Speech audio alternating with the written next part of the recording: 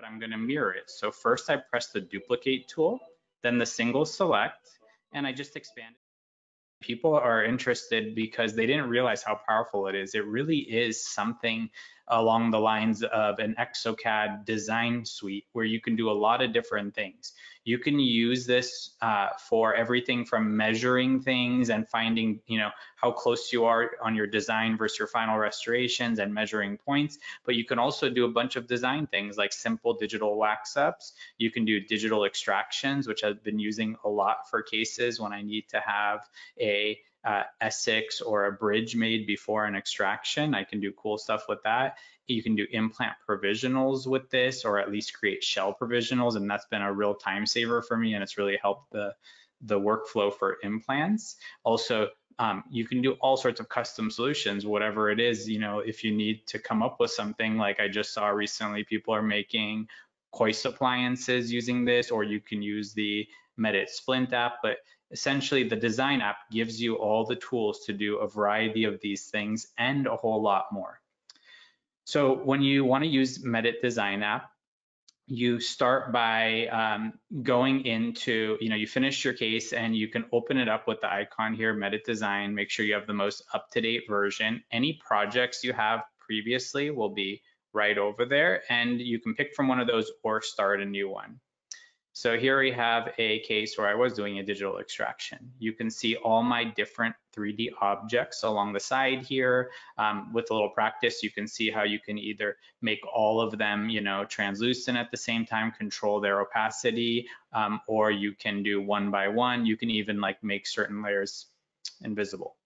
Then you have alignment mode, deviation display mode, where you can look at the deviation between different scans, curvature display mode. Now the three that I'm using the most are transformation mode, measurement mode, and then edit mode. These three give you a lot of different tools to do a variety of things that we're going to share. Like for example, in the edit mode, you can make selections, make deletions, you can mirror different objects, you can clone parts. So really just a whole lot of different things you can do. And I'm going to show you how I do that. So let's start with case number one. This case, it's on my um, one of my staff members. She lost her crown. She was really concerned um, about getting uh, a big infection or something. She didn't even know she had a root canal on it, but um, I essentially took a look and I was like, okay, well, one, you need a root canal because it's been exposed. It doesn't, you know, looks mushy under there. But also, I thought instead of doing a wax up or having something to provisionalize with, maybe I can be prepared for when she returns from endo to have a provisional.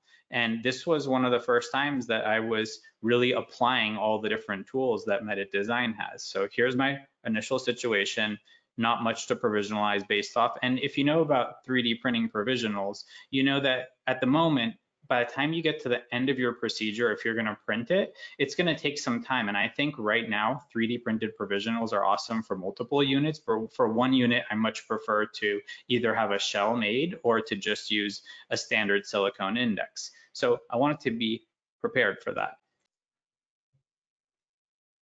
Okay, so for starters, you want to get this into the Medit Design app. So I'm going to press this icon here, and then you have the option to make a selection of whatever you want to bring in. So I'm just bringing the mandibular scan in.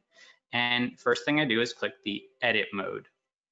In the edit mode, I'm going to select tooth number 19 here and delete it. If you don't delete it, sometimes you have problems when you try to do steps further in the process. But sometimes now I don't have those problems either. But I think when you have um, the opportunity, deleting it is usually the smoother process.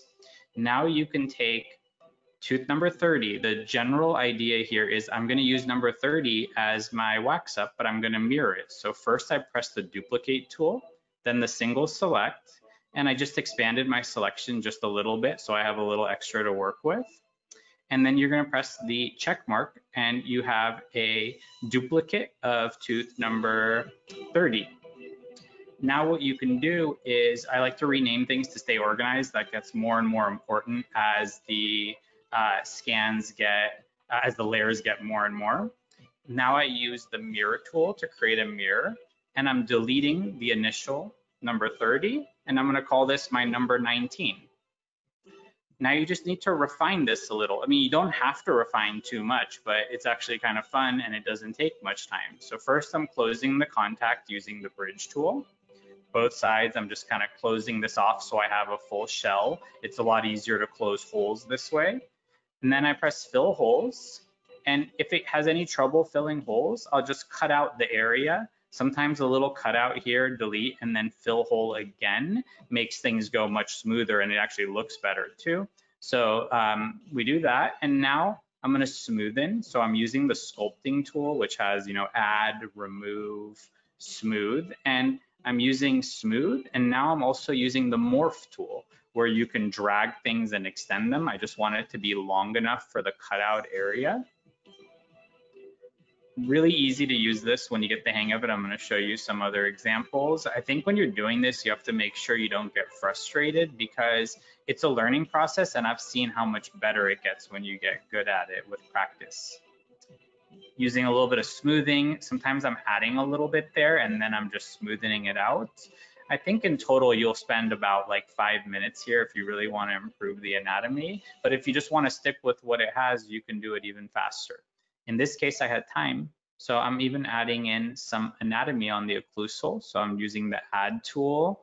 And, um, you know, because the patient wasn't having this the same appointment, I was able to do this. And interestingly, I'm doing this on my laptop from home, which is one of the things I really love about the Medit software, Medit Link, that you can use it on a Mac and that you can also easily work from home because I like doing these things from home as opposed to in the office. So that makes me more likely to spend time on it when I have the opportunity.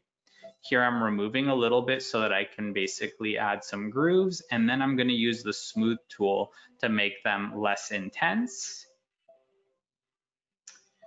Important to remember you can do as much or as little of this as you want but with practice, you'll get good at it. And I think it's worth using every now and then. Now the problem is we have this tooth and it's not in the right place. So you use the transform tool, which was that other tool at the top or the mode. So you see I'm selected on that on the top and I'm using this to position the tooth where I want it. So you can rotate, you can even scale things. So right now I'm rotating and positioning, trying to get this aligned in the occlusal plane.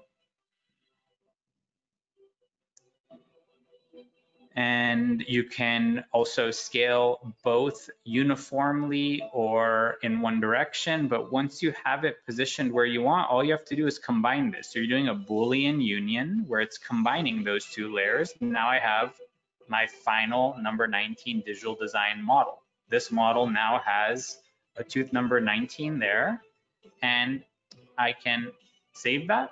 I can export the file, and I can print this and I can make a standard silicone matrix to make a provisional. So that is one way that this has really given me the opportunity to do really cool things because you know traditionally I would either send that out for a wax up or have my in-house technician do a wax up but those are time consuming things that I think are better suited for this workflow. And I even have an assistant now who's been learning these things. So she's able to uh, really take these on. And plus, she finds it really fun to do these things. I think you need to know how to do it yourself, and then you can teach your assistant how to do that.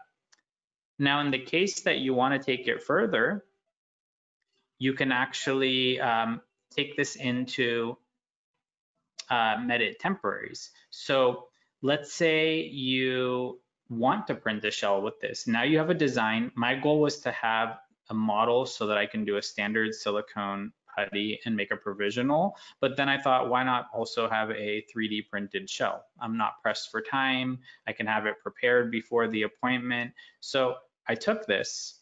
Now I have this, you know, design model here, and I took this and I decided to take it into um, the Medit temporary app now. So that's this app right here. And I'm gonna select the uh, option to use pre-op data, but I'm gonna tell it that this design that I had was my pre-op, okay? And I select the tooth. And then what we're gonna do is go through and um, select the area. I'm doing the shell mode to make a provisional here. So I'm kind of selecting the margin line. You can go a little bit further than the tooth so that your shell has room to be relined. Um, but you can also do it precisely like this and then use a tool to expand, shrink or expand right there on the bottom of the screen. So that's kind of what I did right there. I find a little more expansion than this is actually nice because it makes it easier to do the reline.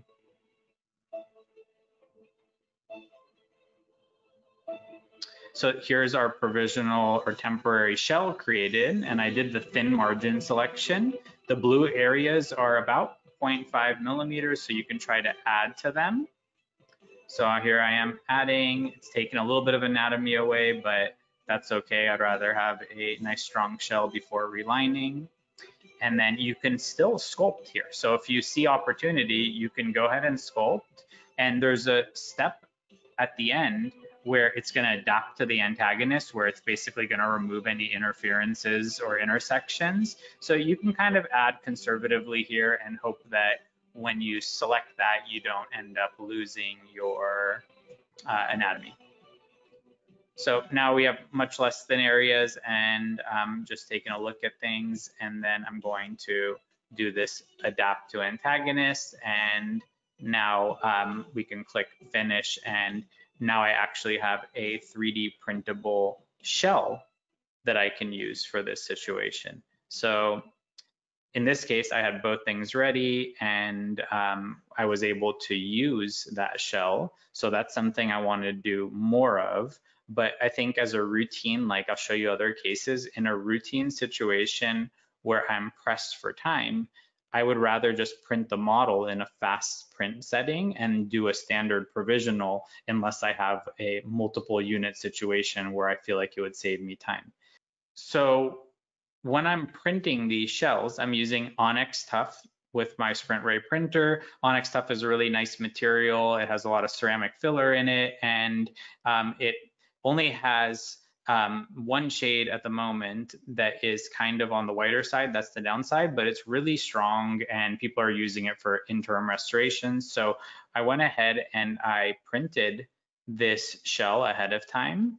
And so what I have ready for the appointment is the model as my backup in this case, and the provisional shell, which I thought I would reline. And it's important to note that my normal routine would be to use a pre-op silicone matrix. But now with all these technologies, when I see the opportunity, we're trying to get scans ahead of time and prepare for these situations because I much prefer this rather than trying to improvise and make a provisional during the procedure. Saves us a lot of time, makes the procedure run smoother. So I plan on doing a whole lot more of these provisional shells like this. So during her appointment, um, you know, she got her root canal ahead of time. She came back, and um, I did, you know, I removed uh, any remaining material, did a buildup. I do uh, biomimetic dentistry, so that's the type of adhesive dentistry that doesn't rely on retention.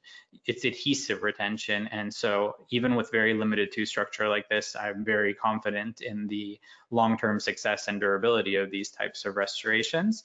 And then for the provisional, I relined that shell and when I did that, all I had to do was trim and just a little bit of stain and glaze. I've actually gotten even better at staining and glazing these now. You can put several different coats of like a shade on there to really bring the value down. It's actually quite impressive how much you can do.